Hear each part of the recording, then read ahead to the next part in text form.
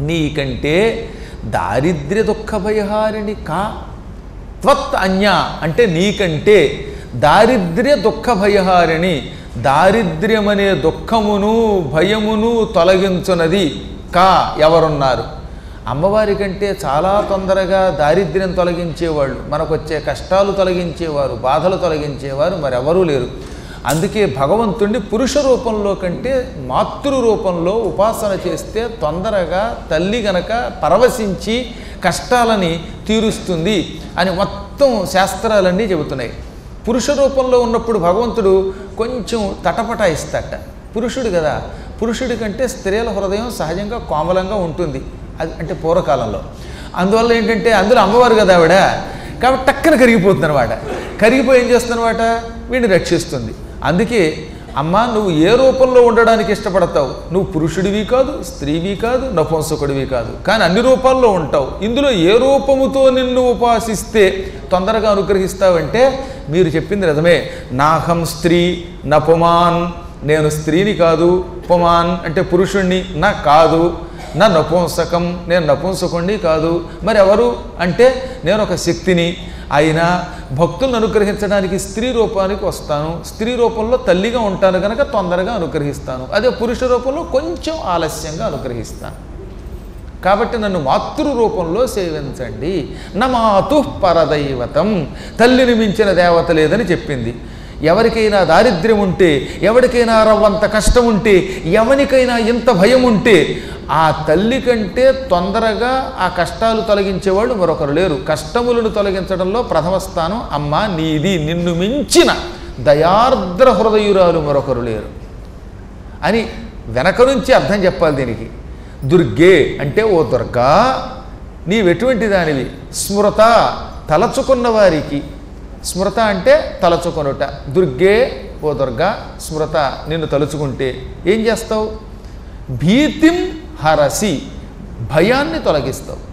అంతో ఎంతో భీతి లేకుండా మానవ మాత్రుడు ఉండడం. ఇంత ప్రవచనం చెబుతున్న మేము ఆత్మస్థైర్యంతో ఉన్న మేము కూడా ఏదో ఒక క్షణంలో ఒక్కొక్కసారి భయపడతాం కొద్దిగా.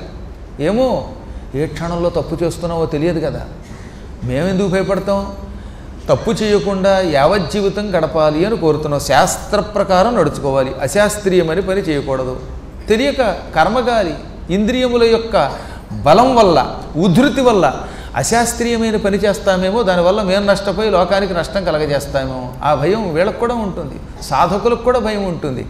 ఒక్కొక్కడికి ఒక్కో భయం ఉంటుంది.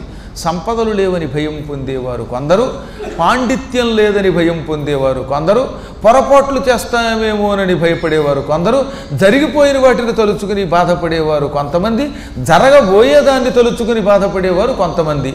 ఇలా ఎన్నో రకముల భీతులు ఉన్నాయట ఒకరికా ఇద్దరికా అశేష జంతో ఎన్ ఎన్నో ప్రాణులు ఉన్నాయి ఈ సృష్టిలో. ఒకటా రెండా ఎనభై నాలుగు లక్షల జీవరాశులు ఉన్నాయి ఎనభై నాలుగు లక్షల జీవరాశుల యొక్క భయంకరమైన భయాన్ని బాధని నీవు తలుచుకున్న మాత్రాన తొలగిస్తావు. ఎన్నో రకాల ప్రాణులు ఉన్నాయి ఈ ప్రాణులందరికీ భయం ఉన్నది ఈ భయము నిన్ను తలుచుకోగానే తొలగిస్తావు అని మొదట్లేనికి అర్థం.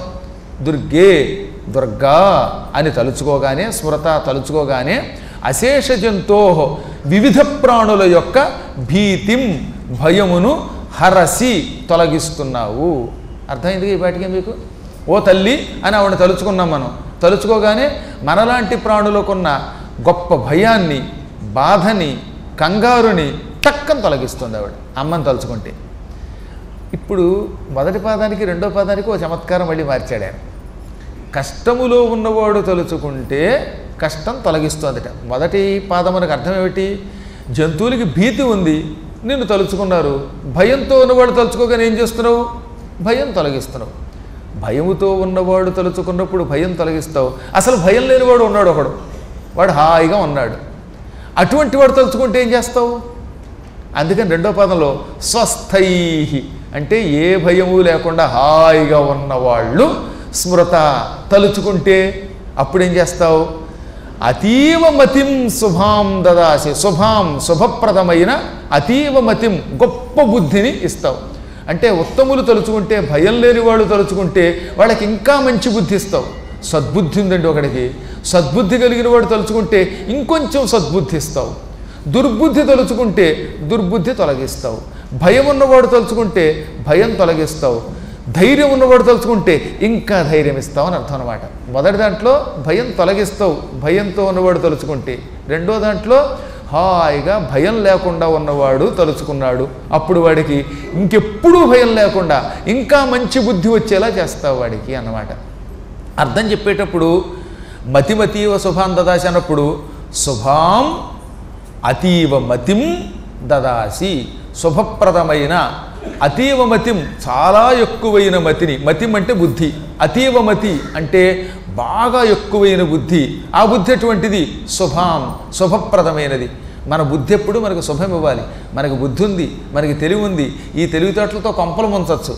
అప్పుడు అది అశుభమతి కానీ ఈ తెలివితేటలతో లోకోపకారం చెయ్యాలి. అందుకని శుభాం మతిం. ఆ మతి అతీవము అంటే ఇంకెంతకంటే గొప్పది కాకుండా ఉండాలన్నమాట. అటువంటి మతిని ఇస్తున్నావు నువ్వు.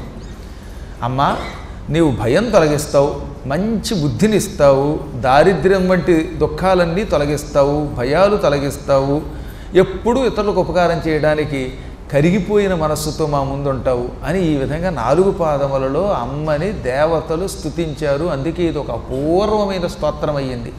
మీ అందరికీ చెప్పాను గ్రహణం నాడు ఇందులో ఈ స్తోత్రాలలో ఐదు శ్లోకములు ఉన్నాయి ఈ ఐదు శ్లోకములు చదువుకోండి చాలు మీకు అపూర్వమైన జ్ఞానం వస్తుంది. దానివల్ల గ్రహణాల్లో చదివితే ఎక్కువ శక్తి వస్తుంది.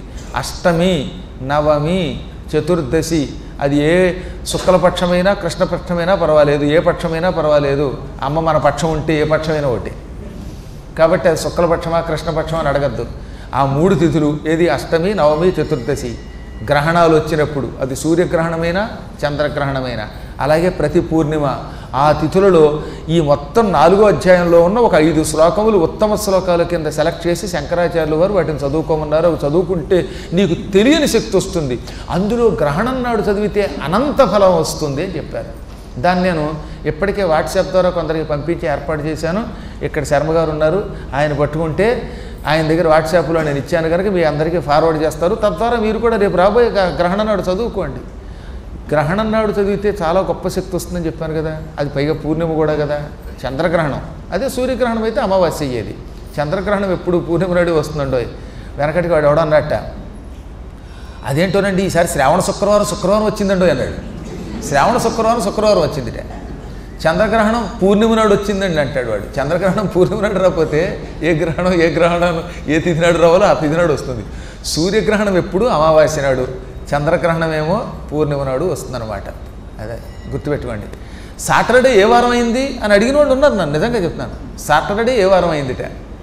మరి దానికి ఏం సమాధానం చెప్పాలో? నా బుద్ధికి కూడా పనిచేయక అమ్మవారిని అమ్మ స్వస్థై స్మృత మతిమతీవ శుభాన్ దదాసి అన్నావు. మేము మంచి స్వస్థులం. ఆరోగ్యంగా ఉన్నాం భయం లేకుండా ఉన్నాం మాకు ఇంకా బుద్ధి ఇస్తావట వీడి ప్రశ్నకి సమాధానం ఎలా చెప్పాలో ఆ బుద్ధి తల్లి అన్నాను నేను ఓ రోజు నిజే చదివి. చాలా అమాయకంగా అడుగుతారో తెలిసి అడుగుతారో తెలియక అడుగుతారో లేక నన్ను పరీక్షించడానికి అడుగుతారో మరి ఎందుకో తెలియదు కానీ అప్పుడప్పుడు మాత్రం ధర్మ సందేహాల్లో చాలా చిత్రంగా అడుగుతారు అన్నమాట వాళ్ళు. ఈసారి శనివారం సాటర్డే ఏ వారం వచ్చింది? ఇలాంటి ప్రశ్నలు అడిగేవాళ్ళు ఉంటారు. అవి తీసి పక్కన పెట్టి వీటిని శుభ్రంగా భక్తితో చదువుకోండి దానివల్ల లాభం వస్తుంది.